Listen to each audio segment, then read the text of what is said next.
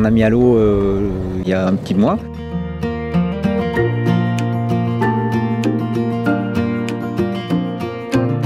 Il fallait qu'on modernise la classe et la modernité aujourd'hui passe forcément et nécessairement par les foils.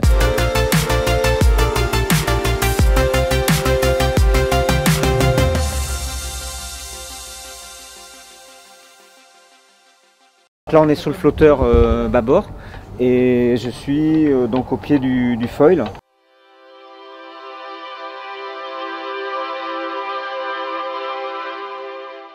Le foil est un appendice qui permet donc d'avoir un appui ou pas. C'est-à-dire que euh, quand on n'a pas suffisamment de vitesse, donc euh, on le, tient euh, hors de l'eau pour éviter d'avoir trop de traînées. Et par contre, dès qu'on commence à avoir suffisamment de vitesse donc avec le bateau, à ce moment-là, donc on l'enfonce dans l'eau, ce qui nous permet donc de soulager le, bateau. Donc c'est vraiment un appendice qu'on règle en permanence comme, comme une dérive. On a des bouts ici qui nous permettent de le monter ou de le descendre. Et ensuite, on a ce qu'on appelle le REC, donc euh, l'incidence, donc qui est un, palan qui nous permet donc de régler de façon fine sa portance dans, l'eau. On ne fait varier que la cale du haut et donc euh, la cale du bas elle ne varie pas ce qui nous permet donc de modifier vu la courbe du foil de, de modifier l'incidence du foil donc de modifier sa portance. En multi 50, l'objectif c'était pas de faire décoller les bateaux euh, entièrement, c'était vraiment de les soulager euh, et d'amener un, un, plus bien sûr en vitesse, un plus en sécurité. C'est pour ça qu'on n'a pas d'élévateur sur le, sur le safran euh, arrière pour rester toujours avec l'arrière du flotteur dans l'eau et ne garder que le côté sécurité, donc cabrage du multicoque sur l'eau. Aujourd'hui, bah voilà, on est vraiment dans l'apprentissage du fonctionnement de notre foil.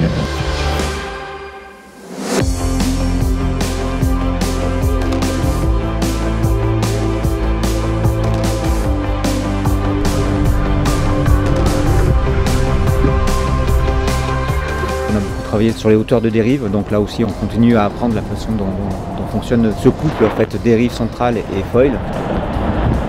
Ah ça cave au plus là quand même là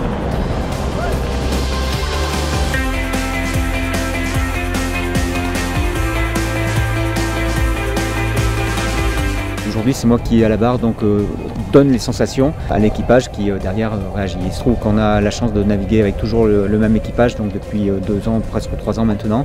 Et donc, on a, une vraie complicité qui nous permet de, de gagner du temps, sur les réglages. Et ce que moi, je peux exprimer, derrière, je sais que ce soit Étienne, que ce soit César ou que ce soit Karine, ou voire Raphaël, on a, on a un vrai retour sur ce qui peut être amélioré en termes de conduite. Quoi.